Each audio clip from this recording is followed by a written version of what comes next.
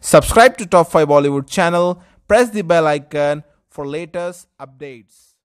Dipika Kakar is a known name in the world of Indian television. The actress rose to fame when she portrayed the role of Simar Bharadwaj in the show Sasural Simar Ka, which aired on Colors TV. Dipika is married to her former co-actor Shoaib Ibrahim and together they are one of the most adorable couples of the Indian television industry.